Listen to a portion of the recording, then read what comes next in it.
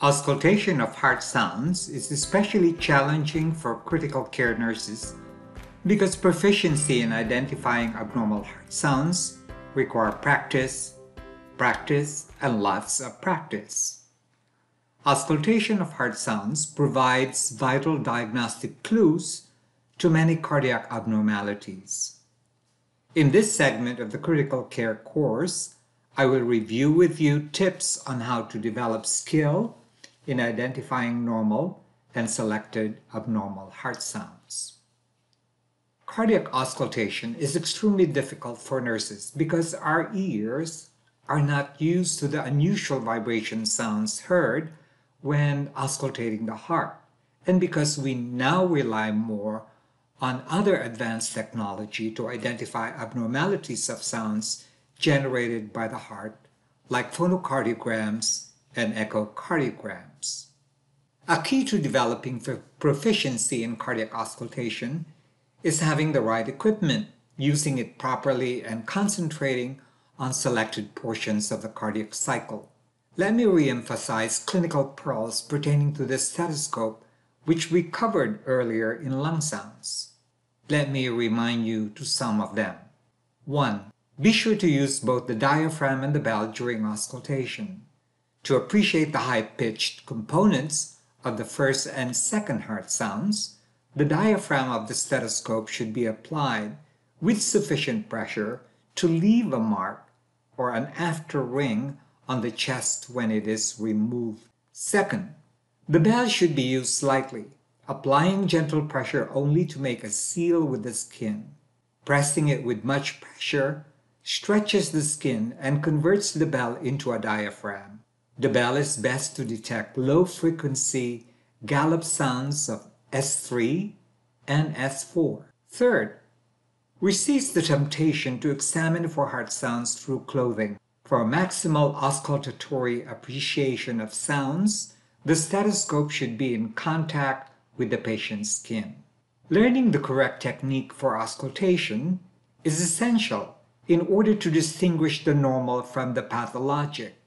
It is important to memorize the anatomical landmarks where the stethoscope should be placed on the patient's chest. Remember these anatomical sites where you should auscultate and the corresponding anatomical and physiological significance to the heart sounds they represent. All cardiac areas must be auscultated in a structured and methodical fashion. Inch your stethoscope to all the areas. Listen for at least 5 seconds while the patient is breathing normally. This requirement is probably one of the most common omissions and pitfalls during the physical examination. Always allow adequate time to listen to the heart sounds. So let us review the anatomical sites where one should auscultate when performing a cardiac examination. Let us review the auscultation surface landmarks or listening posts. First, the aortic area. Place the diaphragm of the stethoscope at the second intercostal space, right sternal edge. This is the anatomical landmark for the aortic valve. Listen for at least 5 seconds for the second heart sound, which represents the aortic valve closing. Loud S2 in this area may indicate systemic hypertension pulmonic area. Place the diaphragm of the stethoscope at the second intercostal space, left sternal edge. This is the anatomical landmark for the pulmonary valve. Listen for at least 5 seconds for the second heart sound, which represents the pulmonary valve closing. Loud S2 in this area may correlate with increased pulmonary artery pressure, such as what can be observed in patients with COPD. Tricuspid area. Place the diaphragm of the stethoscope at the fourth and fifth intercostal space, left sternal edge. This is the anatomical landmark for the tricuspid valve. Listen for at least 5 seconds for the first heart sound, which represents the tricuspid valve closing. Mitral area. Place the diaphragm of the stethoscope at the fifth intercostal space, mid-clavicular line. This is the same area as the apical beat or apical heartbeat. This is the anatomical landmark for the mitral valve. Listen for at least 5 seconds for the first heart sound, which represents the mitral valve closing. This location is where you need to concentrate for the presence of gallops, particularly as the patient assumes a left lateral side-lying position. When listening to a patient's heart, the cadence of the beat will usually distinguish S1 from S2. Because diastole takes about twice as long as systole, there is a longer pause between S2 and S1 than there is between S1 and S2. Now, sometimes the rapid heart rates can shorten diastole to the point where it is difficult to discern which is S1 and which is S2. That's always confusing. We always want to know which one is S1 and which one is S2. For this reason, it is important to always palpate the point of maximal impulse or the carotid pulse when auscultating. The heart sound that you hear when you first feel the pulse is S1, and when the pulse disappears, it is S2. It is important to you always palpate either the PMI or the point of maximal impulse or the carotid pulse when auscultating. The heart sound that you hear when you first feel the pulse is S1. So now you've listened to the lung the, the heart sounds, I should say. The physical findings should be interpreted with respect to their intensity, pitch, location, quality, and timing in the cardiac cycle. So, what exactly in intensity are we looking for? Well, heart sounds can be described as increase in intensity or louder, or decrease in intensity or softer or absent. Pitch. Heart sounds can be described as high pitch, which are heard best with the diaphragm of the stethoscope, or low pitched. Location. The location of the heart sound can help determine the etiology. The standard listening posts, which are the aortic, the pulmonic, the tricuspid, and the mitral, apply to both heart sounds as well as murmurs. For example, the S1 heart sound, consisting of mitral and tricuspid valve closure, is best heard at the tricuspid or left sternal border and the mitral or the cardiac apex listening posts. Look at the diagram. Timing. The timing can be described as during early or perhaps mid or perhaps late systole or early, mid, or late diastole. The examination should be conducted in a warm, quiet room Place the patient in a supine position after all clothing has been removed from the chest. Explain to the patient that you're going to examine the heart. Warm your hands and stethoscope, but warn the patient that your hands may be cool at first. The most comfortable and satisfactory position for most examiners is on the patient's right side. The auscultatory examination is commonly began at the aortic area. Look at the arrow. It's on the second right intercostal space. And the stethoscope is inched to the pulmonary area.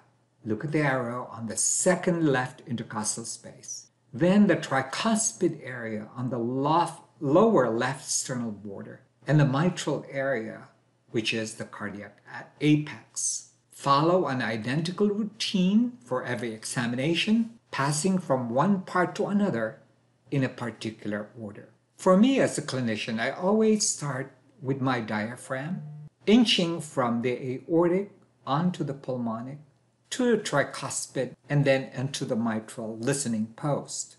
And then I reverse the procedure using the bell this time from the apex going back to the tricuspid listening post, then to the pulmonic, and then into the aortic listening post. Traditionally, you might have been taught that you perform auscultation over the four areas of the precordium that roughly corresponds perhaps to the location, quote unquote, of the four valves of the heart. This leads to some misperceptions. I want you to know that valves are not strictly located in these areas, nor are the sounds created by valvular pathology restricted to those spaces. So while it might be okay to listen in just four places when conducting the normal exam, it is quite helpful actually to listen in many more when there is an, any abnormal uh, abnormalities or abnormal sounds uh, that you hear. Normal heart sounds will differ considerably in various chest wall locations and patient positions. In the region of the apex, for example, heart sounds are usually loud, and that is because the heart is in direct contact with the anterior wall of the thorax. However, in patients who are big or have thick chest walls, or perhaps they have COPD and barrel chest, heart sounds may be poorly heard or inaudible. However, they are heard more clearly if the patient bends forward or lies on the left side and is examined at the point of maximal expiration. I realize that this might not be possible in critical care patients. But wherever you can and whenever can patients can tolerate it, you should. In young persons with thin and elastic chest, well, this is very great because heart sounds are heard with greater intensity than in older patients whose chest walls are thicker and stiff. Let's now discuss the first heart sound. The first heart sound, or S1, occurs as the mitral and tricuspid valves close after blood enters the ventricles representing the start of systole. When the two ventricles contract and pump out blood into the aorta and pulmonary artery, the mitral and tricuspid valves close to prevent the blood flowing back into the atria. The first sound, S1, is generated by vibrations created by the closing of these two valves. Mitral valve closure Usually when we talk about heart sounds, we term that as M1, precedes tricuspid valve closure, which would be termed T1, causing a slight split. The M1, or the mitral valve closure, the sound is much louder than T1 or the tricuspid valve closure due to higher pressures in the left side of the heart. Thus, M1 radiates to all cardiac listening areas. This makes the M1 or mitral valve closure mostly the main component of what you hear when you're listening to S1. Now again, the first heart sound is synchronous with the outward thrust of the apical impulse. So with experience, it is possible for you to watch the movement of the stethoscope on the chest while listening to the heart sounds in order to time systole and diastole. When the uh, apical impulse cannot be seen or the pulsation of the carotid artery can be used also as a guide. A finger on the carotid artery can sense the palpable arterial upstroke that immediately follows the first heart sound. Do not use a more distant artery for this purpose, by the way, because it leads to error because it will take a long time for the pulse wave to reach the peripheral area. So, what abnormalities would you suspect when there are soft or loud S1? Well, we will not be dealing with those here, but it is worth mentioning that louder S1 may be heard when there is a short PR interval, and a faint S1, on the other hand, will be noticeable in instances, instances where there is a long PR interval. The loud S1 when there is a short PR interval is due to the valve leaflets being in a wide open position in the onset of ventricular contraction and therefore closing more forcefully. The second heart sound. After pumping the blood, the ventricles relax to receive blood from the atria and the diastole phase begins. The second heart sound, or S2, as we would refer it, occurs when the aortic and pulmonary valves, also known as the semilunar valves, close after blood has left the ventricles to enter the systemic and pulmonary circulation at the end of systole at the beginning of isovolumetric ventricular relaxation. Now S2 is physiologically split because aortic valve closure normally precedes pulmonic valve closure. This splitting changes depending on respiration, body posture, and certain pathological conditions. The sound produced by the closure of the aortic valve is termed A2 in auscultation terminology and the sound produced by the closure of the pulmonic valve is termed P2. So you always hear people refer to the second heart sound as A2P2, while first heart sound is always referred to as T1M1. The A2 sound is normally much louder than the P2. Why again? Because there is higher pressures in the left side of the heart. Thus, A2 radiates to all cardiac listening areas, which is loudest at the right upper sternal border. And P2 is usually only heard at the left upper sternal border. Therefore, when you're listening to the second heart sound. The A2 or the aortic sound is the main component that you hear. Now, although S1 and S2 are considered to be separate or discrete sounds, you will notice that each is created by the near instantaneous closing of two separate valves. Let us now listen to a normal S1 and S2.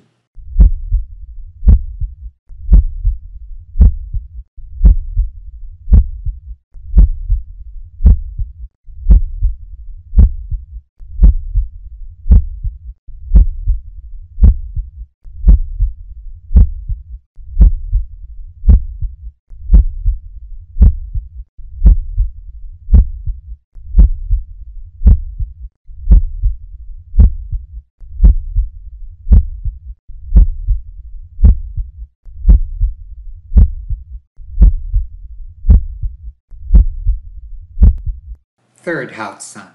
The third heart sound, also known as ventricular gallop, occurs just after S2 when the mitral valve opens, allowing passive filling of the left ventricle. Now, shortly after S2, the closing of the semilunar valves or the pulmonic and aortic valves, the AV valves open and diastole begins. When we talk about diastole, diastole is itself further divided into stages. The first being that of rapid filling, where 80% of the blood stored in the atria during systole is transferred to the ventricles. At the end of this stage, about a few milliseconds after S2, an S3 may be heard if the volume which has been transferred is abnormally large this large volume causes tensing of the chordae tendineae and the AV ring or the atrioventricular ring. This corresponds to the rapid rush of blood from the atrium into the ventricles as it starts relaxing. It can be thought of as a sound which is generated when the ventricle is forced to dilate beyond its normal range because the atrium has an overloaded volume. S3 then is caused by a sudden deceleration of blood flow into the left ventricle from the left atrium. An S3 is normal in a healthy child or young adult, an athlete, or somebody who is in the third trimester of pregnancy. It decreases with age as the ventricles become less compliant and usually disappears by 20 to 30 years except those in good athletic shape. S3 is often associated with ventricular dilatation like what happens in systolic ventricular failure. In older individuals it indicates the presence of congestive heart failure which is the most common cause of an S3. It may also be associated with dilated cardiomyopathy with dilated ventricles which contribute to the sound. S3 is best heard with the bell of the stethoscope pressed lightly on the skin of the chest. An S3 sound should disappear when the diaphragm of the stethoscope is used and could be appreciated when using the bell. It is best heard at the apex at the left lateral decubiti position. Most S3 gallops are usually heard every third or fourth beat rather than with every beat, unlike S4, which is usually heard every beat. Now, you might have heard things that would make it easier for you to remember how this sounds like. Similar to pronouncing the word Kentucky, with the S1 being the Ken, the S2 being the Tuck, and the S3 being the E. Well, another good mnemonic to remember, the cadence and underlying pathology of an S3 is slushing in, slushing in, slushing in. Slush represents S1, ing represents S2, and in represents S3. Try to repeat the above phrase in time to the rhythm that you hear now.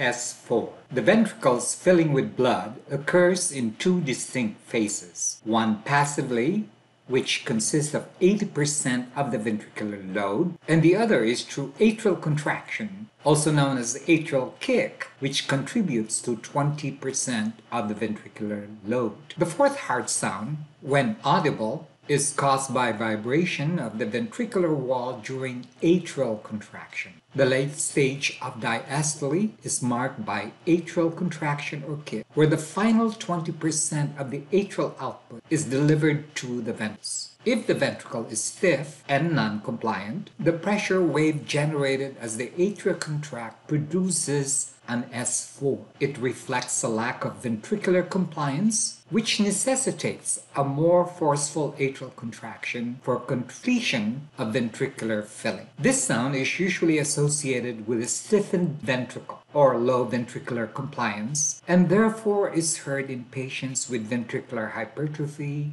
myocardial ischemia, or in older adults.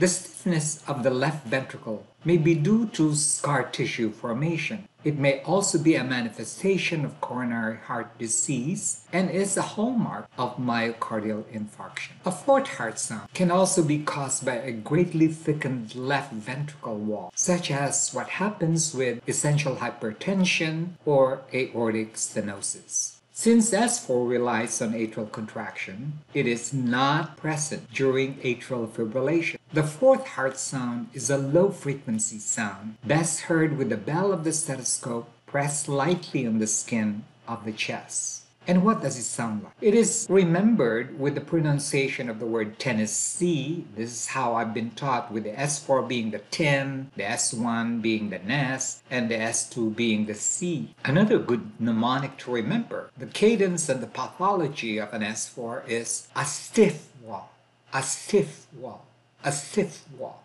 A being S4, stiff being S1, and wall being S2. Practice saying a stiff wall, a stiff wall, aloud as you listen to this with. Here is S4.